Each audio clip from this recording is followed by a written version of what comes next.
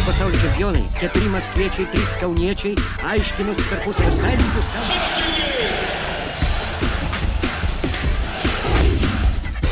Tai čia daug laiko, daug erdvės.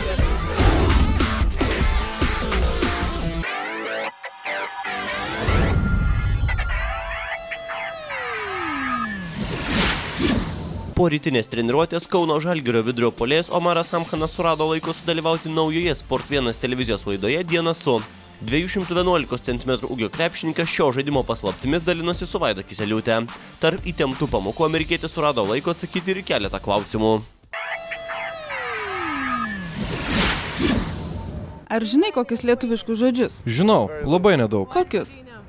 uh, labas, labas rytas, labas vakaras, ačiū, hasta la milu, you know, all the...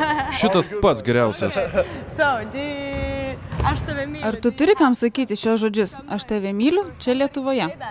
Yeah, yeah. Taip, tau. Besides you, nobody, I'm still looking. Okay. Um, what about Lithuania? Kokie trys dalykai tau patinka Lietuvoje? Three things. Uh, the people are great. Like I love the fans. Trys dalykai. Žmonės yra puikus, krepšinio fanai ir visi kiti aplinkui. Krepšinis yra nepakartojamas ir trečias dalykas tai klubas Barbaras. Kiti komandos vaikinai yra tokie pat linksmi kaip ir aš. Čia yra labai pašėlusi komanda. Bet lietuviai yra labai konservatyvūs. Tada jie nepakštauja. Viešoje vietoje jie konservatyvūs, tačiau rūbinėje jie labai daug jokauja. Ypač Paulius Jankūnas, aišku ir kiti vaikinai. Šiandien aš turėjau pasikeisti treniruočių marškinėlius, nes jie juos sugadino aprašinėdami. Visi mėgsta jokauti, tačiau labiau tai daro, kai uždarytos duris ir kai žino, kad nereikalingi žmonės to nepamatys. Kai jie būna prie sirgalių, viskas pasikeičia. Kodėl jie taip daro?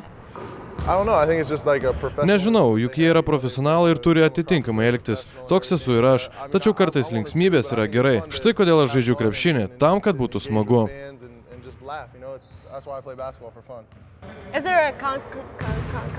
Ar jūsų komandoje vyksta kokios nors varžybos dėl merginų? Uh. Nėra jokių varžybų. Aš esu numeris vienas, pats geriausias. Yra dvi priežastys. Pirma, aš labai mielas, o antroji priežastis mūsų komandoje visi vedė, arba bent jau susižadėję. Kadangi nebėra laisvų vaikinų komandoje, todėl tai puikiai žinia man. Aš jaunas vienišas vaikinas. Come on, Breeze. Show him the handshake. Get up, show him the handshake.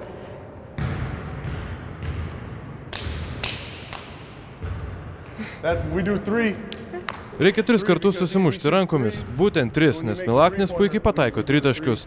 Kai įsimetamės tris kartus sumušame rankomis ir atiduodame pagarbą. Aš jums parodysiu, kaip tai darome. Tačiau tik niekam nesakykite. Okay. Mes taip visada darome, kai kuris nors mūsų snaiperis įmeta tritaškį.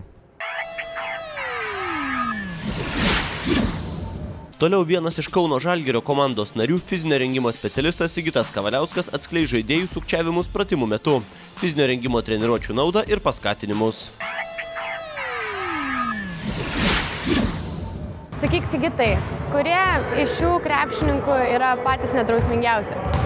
Ar gali išduoti tokią paslaptį? Neišduosiu tokios paslapties, bet pasitaiko nedrausmingų, bet tas nedrausmingumas kartais nebūna, kad darant pratimus ar kažką paprasčiausiai tarpuose, kai reikia ilsėtis, vieni mėgsta labiau papokštauti ar kažką pa, paišdykauti, sakykime, tai, bet tai tas nėra toksai piktybinis dalykas. Tai jis nėra pasikartojantis, nėra tokių, kurie pastoviai...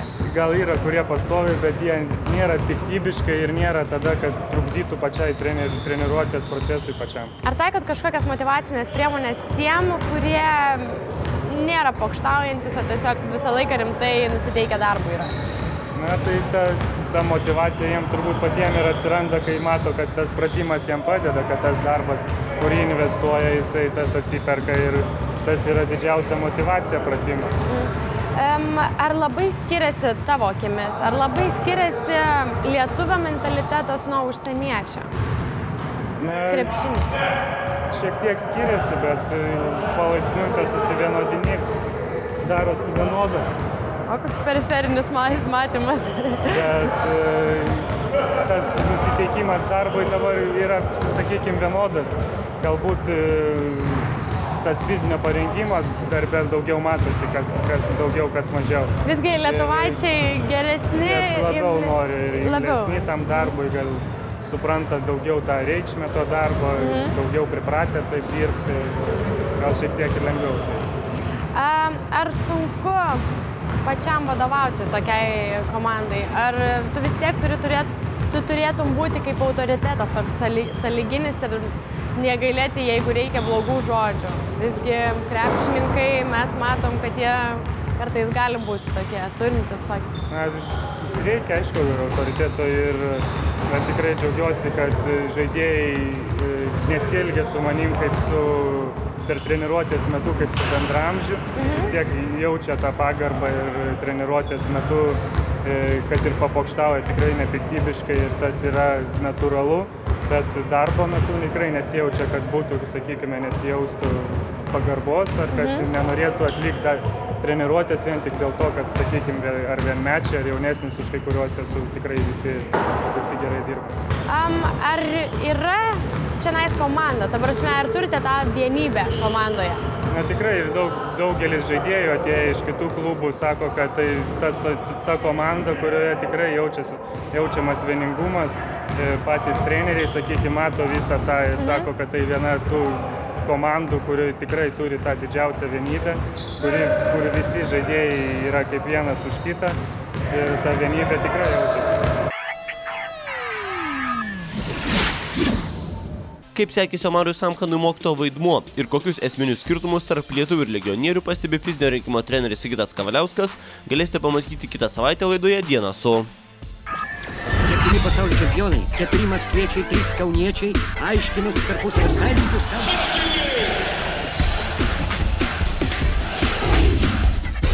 Tai čia daug laiko, daug erdvės.